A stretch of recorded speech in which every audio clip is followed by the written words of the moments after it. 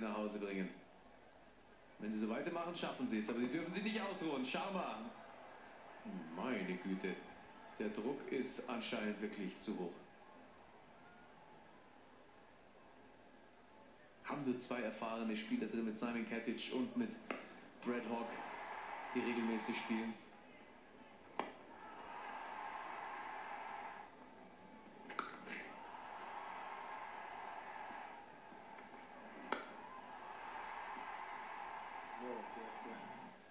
Das ist wirklich erstaunlich, was der Rohit Sharma auch noch schlagen kann.